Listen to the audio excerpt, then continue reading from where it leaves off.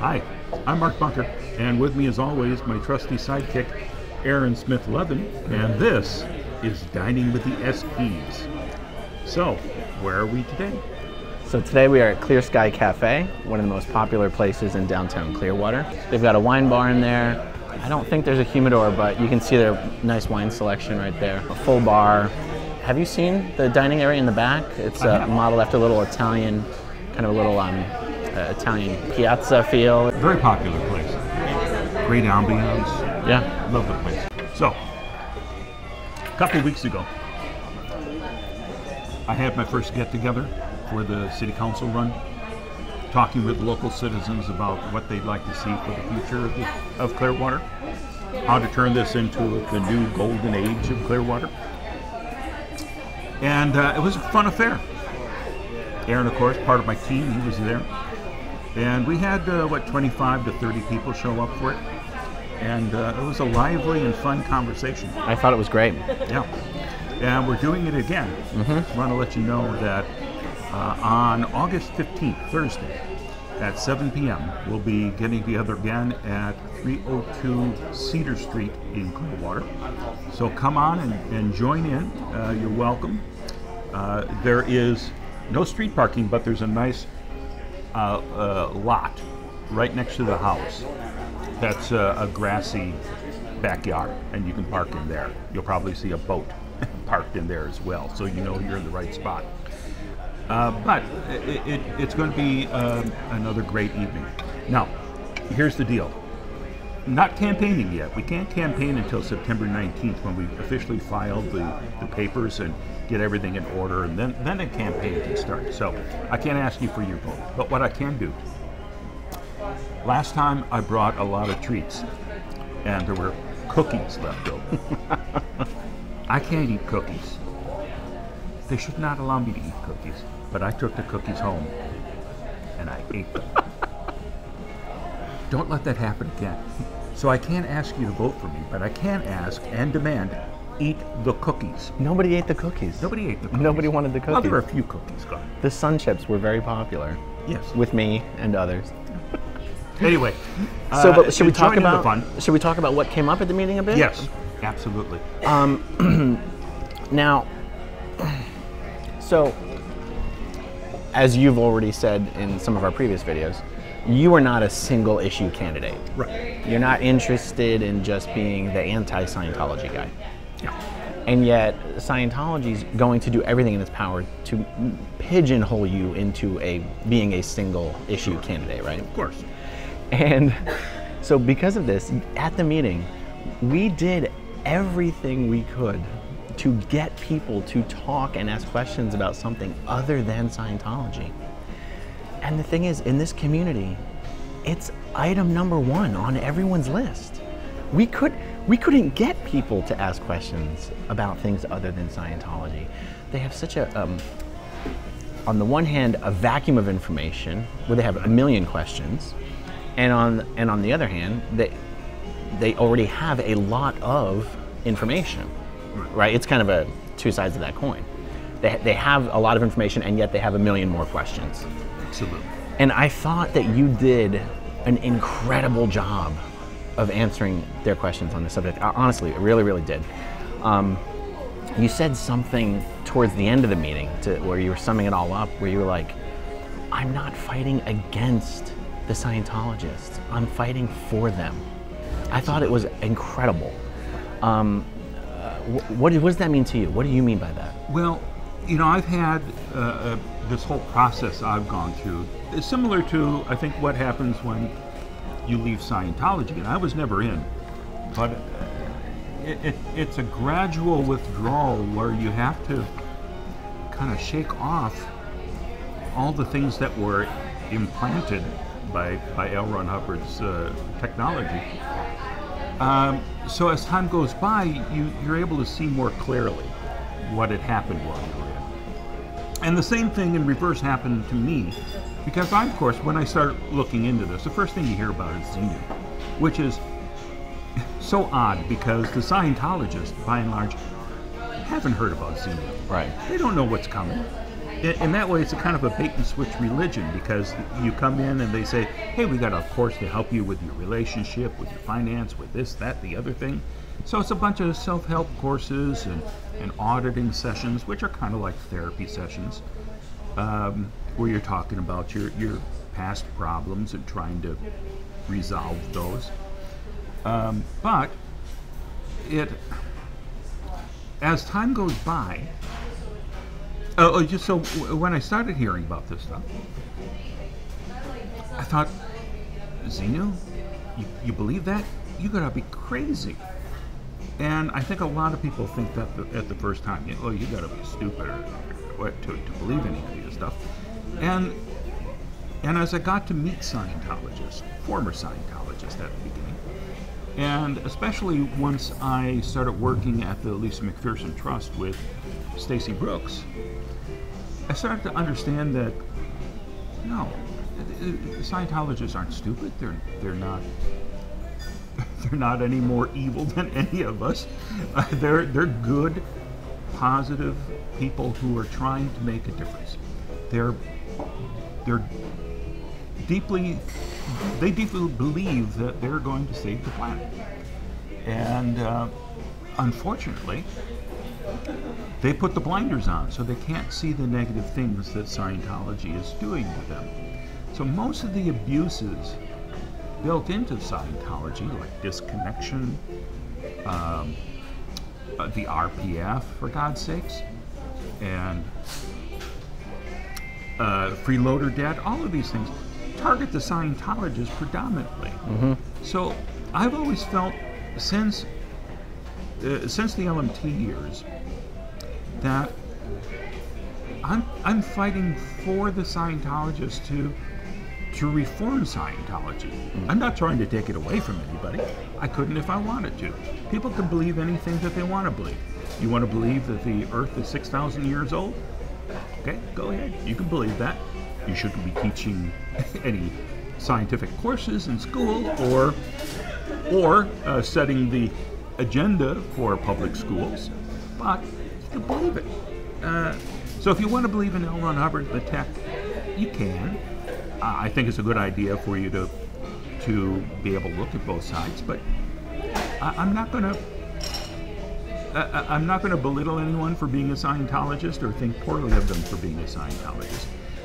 One key thing that happened uh, at the LMT early on is Mike Rinder at that point was in charge of OSA, the people who are trying to attack us and destroy Bob Minton's life. And I saw the global assault they had on Bob.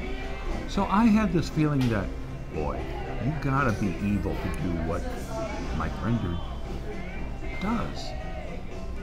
And Stacy said, no, he's a really nice guy.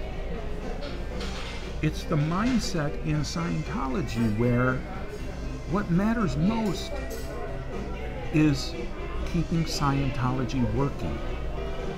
And you you put everything in front of that. And it's not it's not that Mike Rinder is bad, it's that Mike Rinder has been led to believe that the things that that he's doing and the Scientologists are still doing this stuff they're on the right side because they're saving humanity. And, and, that's why whenever I was out on the streets of Clearwater, and I would encounter Scientologists like Mary DeMoss, who would come out and say the most outrageous things to me uh, on camera, I never blamed her. Mm. She was trying to fight for what she thought was right. Right. And I only heard L. Ron Hubbard when she would say horrible things to me, mm. or any of them. Mm-hmm. I never held any of this against any of the Scientologists. You know, the only exception, I think, was Dennis Clark, who was a bully, punched people on mm. camera, uh, and was not a nice guy. And I'm sure there are other not nice guys in Scientology as well, as there are in, in all forms of society. But by and large, the Scientologists you see walking around the streets, good, decent people. And if we could, if we could be friends, we'd have a, a great time. Right. I'm not attacking them. In fact, on weekends, I sometimes drive uh, for Uber. And I have Scientologists in my car. I'll pick them up in front of the Scientology uh, buildings and uh, drive them where they want to go. I don't uh, harass them or give them trouble. Occasionally, we'll we'll chat a little bit about you know what they've gained from it, and I always say good for them. Um, They never notice they- your license plate. they never do because uh, uh, my license plate says Xenu TV. right. Which I got back in 2000 when I first moved here, and I used to like parking it in, in front of OSA uh, with the license plate right there. One of my favorite moments from that, I had to testify in one of Bob Minton's cases, and they showed a picture, put into evidence a picture of my car Oh, really? with the license plate, and they asked me if this was my vehicle. I said, well, kind of hard to say because the the license plate has been blacked out. Oh. I mean, my license plate is Xenu TV, X E N U TV, just to put it into the record, um, and, and things like that. Uh, uh, um, but no, I, I- you know, the Scientologists are okay with me. Uh, I'm just not okay with them for now. But when Scientologists leave, as they uh, occasionally do, they'll they'll contact me and say, you know, I saw you out there and I, I was railing against you and you were right. So thank you for doing that, which is always nice to hear. Yeah. Because I'm not trying to hurt the Scientologists. I'm not trying to start any type of revolt against the Scientologists. I think it's just kind of important that we be, we're able to utter the word Scientology because it seems like everyone uh, on the council, everybody uh, throughout Clearwater is kind of afraid to say Scientology. Yeah. Well, we know that that's the big issue downtown. That's why we haven't been able to redevelop the downtown because Scientologists uh, are, are scary to, to some uh, common folk, and they don't want to be. Uh, they don't want to come down here and perhaps contribute to it. Right. But it's okay. That's why we're doing these videos. It's a nice place to be. Yeah. Uh, we can we can bring this back to life, but we have to stand up and say we're not afraid of you, which I did back in '99. So it's 20 years now that I've that I've said hi Scientology. My name is Mark Bunker, and uh, I'm not afraid of you. Right. And I've been fine. Yeah. I've, I've seen the awesome power that they have when they want to go after someone, and I'm not saying that doesn't happen. Right. They'll come after me during this election, big time. Yeah. But you know what? I'm willing to. I'm willing to respond to them. Yeah. And the and the interesting thing is, I'm always happy to talk to a Scientologist. Uh, I'm not going to start a conversation here, of course, because there's an injunction. Right. But if people want to talk to me, I'm happy to talk. I'm not a monster. I think that's one of the things that, if I may uh, humble brag here, this is one of the things that people have said to me over the years is that you're not like a ranting lunatic with conspiracy theories and all of this stuff. You, you seem like a nice guy who's just telling the truth. And that's the way I look at it. Right. Others may disagree, but um, you can you can believe in Scientology. You can you can take Scientology courses. You can be my friend. Because I feel if Scientology reforms and stops all of these abuses, you could succeed. Scientology could grow and prosper. Unfortunately, they have built a reputation over the decades of being this scary, evil cult because of some of the actions that they take. What happened when when we put up the video of um, uh, of my announcement that I plan to run? I, I- hear that Pat Harney was calling around people saying, "You heard that he's going to run? Yeah. We can't let him do that." Yeah, she was calling local downtown Clearwater business owners saying, "So, um, what do you think? What do you think of this Mark Bunker running? And why, why do you do you think that's okay? Do you think that's right? Do you think he should be able to? And and why? Why are you okay with that?" You know, like pressuring them. And then she was like, well, maybe we should run a Scientologist. Yeah. Which would be great. Yeah. M- maybe you should. yeah. Go, go for it. I'd love a debate. exactly. Exactly. Um, they'd have to lift the injunction against you, I guess. Yeah. We're okay with that. I It- know, it only, okay. It only involves uh, protesting in certain areas, and we're not going to be doing that. Right. Um, and here's the thing, Pat Harney, you know, I've encountered her a few times.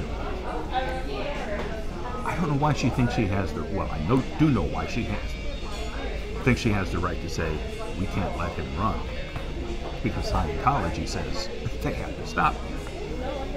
But um, I, I remember back in, in, in the LMT years, we'd hear from people that said, I wrote a letter to the editor of the then St. Pete Times, uh, where I, I said L. Ron Hubbard was a horrible sci-fi writer.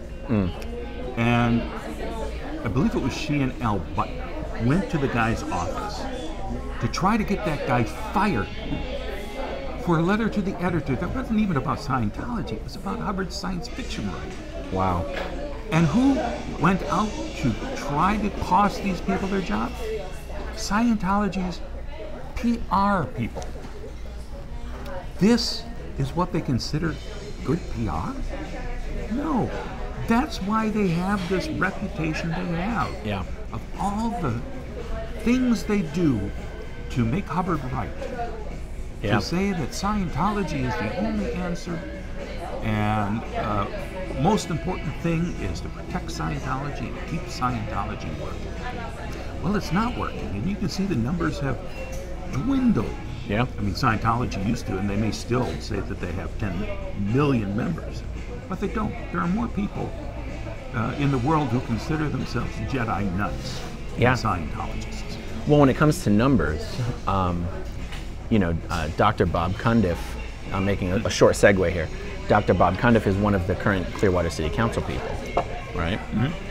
And um, I was told a story by the woman who was involved in this story that she was taking uh, one of Dr. Cundiff's classes and she was giving a presentation and she was comparing um, L. Ron Hubbard to certain uh, political leaders, making an unfavorable comparison. And Dr. Cundiff took her out of the class, took her into the hallway, and said, You are not to talk about Scientology in my class. We have a Scientologist in our student body. They represent 12% of the constituency in Clearwater, Florida, and I'm not going to stand for this. Well, I'm telling this story for two reasons. One, um, should a professor really be telling somebody they're not allowed to mention Scientology in a college class? No. Two, Dr. Cundiff has clearly um, swallowed the church's propaganda that 12% of Clearwater, which has about 115,000 citizens, that 12% of them are Scientologists. That literally over 12,000 Scientologists live in Clearwater. The fact that Dr. Cundiff believes that, the fact that the church tells people that, the fact that any of the politicians in this town may actually believe that um, is comical. Um, uh, that goes along with your point of do they still claim 10 million members? Yeah, they do. And they still claim that 12,000 plus people, uh, active Scientologists, live in this town, not Tampa Bay, in this town. Um, they would be lucky if there are 4,000 Scientologists in all of Tampa Bay, in all of Tampa Bay. And that includes the 1,500 Sea Org members who work here at Flag, Right. three quarters of which are foreigners who cannot vote. So, um, one of the things I hope comes out of this election once you win is that I'm hoping people will go, well, geez, if this guy can run for city council in Clearwater, right in, in their faces, and they couldn't do anything about it, and they couldn't keep you from getting elected, and they couldn't get any of their own members elected, is there really that much to be afraid of? I say no. I agree. Yeah. It's not unusual. I mean, for decades, we had a mayor and city council who knew what Scientology was up to. Yeah. I mean, when Gabe Cazares came to town, you know, there a lot of stuff was revealed, and the people of Clearwater weren't happy about it. Um, but the the entire uh, uh, uh, city council had weeks a week long set of hearings about Scientology. That's right. People like Paulette Cooper came in to talk about what Scientology did to her, and former members talked about all the abuses that are still going on today. Nothing's changed, really, except the politicians now would like to just ignore it. Yeah, it's true. Even the people who are aware of it, they're, they're not going to speak out against it. Right. It's true. There, there is um, this sort of a mindset that if they acknowledge that there's a problem, that they're contributing to the narrative that this is a, this is Scientology's town. And I know a lot of the politicians locally, um, probably rightfully so, are very, very resentful that people think this is a Scientology town. Yeah. But the thing is, you don't fix that by ignoring it or refusing to comment on it. You fix that by speaking publicly and and telling everybody about all the other great parts of Clearwater or Clearwater Beach and all this all this kind of stuff. Right. Running away from it doesn't fix it. Being afraid to say the words in public doesn't accomplish anything. Right. So um, that's going to be that's going to be changing pretty soon. There's three council seats open, two council seats and the and the mayor's seat, Right. and I'm very optimistic for what things are going to look like eight months from now. Yeah, and you know, we're not going to shut Scientology down and chase them out of town. We can't do that, no matter who's on the board. Right. But we can be open and honest about this and try to actually deal with them the way we should, with input from people like Aaron and, and Mike Rinder, for God's sake, who, who dealt with city leaders for many years here when he was in Scientology and kind of has an inside understanding of what happens when you deal as a city with Scientology. It's foolish not to talk to him. Foolish. Right. So, uh, uh, uh, hopefully, I can consider Mike a part of my team. Uh, uh, you know, he's certainly an invaluable source for, Oh, absolutely. for any, any information. Um, uh, but I, I think it's going to be a really fascinating one. Oh, by the way, uh, uh, Pat Harney, we were talking about her PR lady, and I, I said I'd love to debate a Scientologist. The only time I ever had a chance to do that was on a, a really fun radio show out of Texas. Uh, I was invited on the first day to talk about Scientology, and and uh, it was a freewheeling conversation. Uh, I answered all the questions, including uh, about the mythology, Xenu, and blowing us up in volcanoes and all that kind of stuff. Uh, because it's it's a story that people enjoy hearing they do. and it's a story that you aren't told in Scientology. So, I, uh, uh, uh, in in the course of my appearance on the first day, Pat Harney called in and said, you know, you shouldn't have this guy on the radio. Um, and I was not able to have much of a banter with her, but uh, the host invited her to be on the show the next day. One of the things that she said uh, in, in the in the first appearance on on my show was uh, he asked her about uh, uh, she was asked about Xenu, and she said I I've been in Scientology for ages, and I've never read anything like that. So the next day, when she has her own sh- uh, own hour on, on the station, uh, I called in. So the host said, "Listen, she she got a chance to call in and talk to you. You should have an opportunity to call in to talk to her." So I called in and asked Pat where she was on the bridge, and she admitted that she was clear. so of course she So hadn't I- read it. So I, yeah, I was able to point out, well, that that is what Scientologists call an acceptable truth. Uh, she hadn't read any of that stuff. She wasn't allowed to read any of that stuff. She didn't say there's absolutely nothing about Xenu and volcanoes and Scientology. She implied it by saying, I've never read anything like that. Right. And that's the way Scientology behaves most of the time when they're talking to the media or to you in person. Yeah. Um, it might be a reason why they wouldn't want someone who's OT to be on those public lines, so that okay? yeah, thank you, so that they could, quote unquote, honestly say something like, "I've never read that. That's, I would know." I mean, Mark, when I was 14 years old, here in Clearwater, studying full time at, here at Flag, I was sitting right outside the one stop shop when it was located here next to the Clearwater building. And um, it was a, meal break. And somebody came up with a, a print off of an alien, and it said like Xenu on it. And he was handing it to me. I want uh, this is so you guys know what Scientology is really about. And of course, I look at this and I'm thinking, the fuck's, what are you talking about? And then I ran into the one stop shop and I grabbed a Sea Org member and from OSA. I was like, this guy's passing these things out. And they're trained not to go, what? Oh my God. Because that would acknowledge the truth of it. This guy literally says, like, "Hmm. so what's the, so what? What's the problem? Who cares? I don't, what's that? Just play completely ignorant. To another Scientologist. He was, they don't just do that to the public, they do that internally as well. Yeah. And that was my first introduction. It, and even then, it didn't break through with me because it was just looked like such nonsense and garbage. Like I never would have dreamed that's what was on the OT levels, you know. Um, so anyway, that's just a story of them playing ignorant. Even to a staff member, they were playing ignorant. That's of course. That's the playbook. Yeah.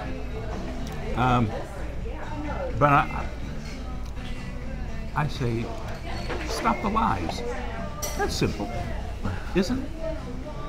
You know, they, they will tell you when they meet you, whatever religion you are, that your religion is completely compatible with Scientology. Which isn't true. I mean, your money is compatible with Scientology. Um, but, you know, when you hear the tape of L. Ron Hubbard saying there was no Christ, some madmen 2,000 years ago found uh, some of Hubbard's tech and misinterpreted it. Oh. And the man on the cross represents every man. Um, I'm not sure that that is compatible with Christianity. I don't think so. But you know, uh, again, you can believe anything you want, but it's just one of those things where they'll say anything to you Yeah. uh, to seem mainstream and acceptable. You know, you can believe what you want. If you if you want to believe that that Xenu blew up in a volcano and you are covered with body things and you need to get rid of those body things, you should just tell people about that the moment you meet them. Here's where you, here's where your real problem lies, because you're going to have to spend three hundred and sixty thousand dollars or more to reach the levels where you find out this information. So it's kind of a bait and switch religion. Yep. Um, it's the early parts are uh, all about you, uh, helping you get rid of your this life trauma and become clear. And then as soon as you become clear, they say, okay, now you're really in trouble. now you've got to get onto the OT levels fast. And you start to uncover that, oh, oh, so now I have to talk to these body things using the same e-meter that, that I've been using all along to find experiences in my life. Now I have to go back to past lives and I have to clear all, all these body things and explain to them it's okay, you were blown up in a volcano, you can go now. I mean, that's a condensed version of it, but, uh, you know, I, I don't see what, what's so hard about just explaining it Yeah. you know, you've got a past life incident that caused a lot of trauma on this planet and other planets in this sector of the galaxy. Yeah. Well, I mean, I'll tell you, I- I'm sure many people watching may already know this. You know, internally, the explanation is that if you are exposed to this information before you are ready for it, it will hurt your health. Um, I personally believe, after being out the other end now, that the real reason is if people knew about that in advance, they would leave earlier on Right. they wouldn't pay 50 100 200000 dollars to do these levels hoping that every next level is going to be what they were really expecting. Right. They just, that's the reason. And it takes you, and that's why I say there's like this mind control factory. They have all these issues built into Scientology that kind of gets you on this track where you accept only what Scientology tells you. Put the blinders on because you know if you have a negative thought about L. Ron Hubbard, Yeah. it's going to show up on the meter and it's going to cause you trouble and probably cost you money. Right. Um, you know, it's all, all all of these abuses are just to protect Scientology from losing a member. Yeah. That's it. Losing a member and losing their revenue and losing that member's money. Right. Yeah. So, seems easy enough to, to solve it. Just stop lying, stop abusing people. Yeah. And then Scientology would be respectable. Now, is there a chance of that happening? Uh, I, I would hope so, eventually. Uh, but Anything's possible. anything's possible. They'll have to um, have a lot of pain brought to bear upon them before they'd be willing to make such changes. That's for sure. and, and that's the case with, with Scientologists as well.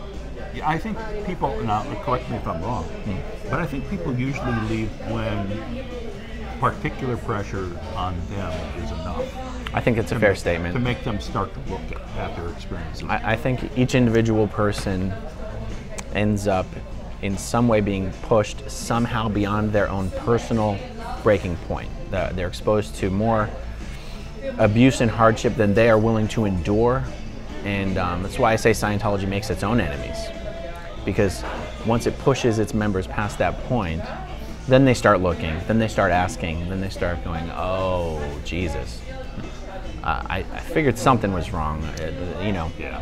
And um, but it's funny how this conversation can go both ways. On the one hand, we can say, well, if Scientology just treated people better and made some reforms, it would be great, and they could be a respectable religion, and that's a true statement. And on the other side, somebody could argue, well, I'd rather they just keep treating people terribly so that everybody would leave. and it just depends on where you stand on that. Like, what do you consider a good result? Do you consider a good result people being treated better, or do you consider a good result everybody leaving? They're, bo- they're both fine results with to me.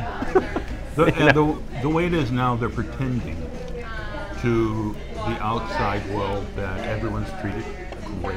Yeah. Everyone's happy. And inside, um, uh, e- even if you're sent to the hole like Mike Rinder was for years, s- living and sleeping in a filthy uh, uh, double wide trailer with bars on the windows and all the top management that pissed off uh, Miscavige would, would be forced to sleep on the, on the floor under a desk perhaps Um, even at that point, if the FBI raided the headquarters and opened the door to, to say, You're all free, come with us, they'd go, I want to be here. It's my religion. You know? Uh, they would defend what's, what's happening to them. It's true. So it's that mindset that you get locked into. That the most important thing is to keep Scientology working. Right. Well, I think we need to keep Clearwater working, and we need to get back on track.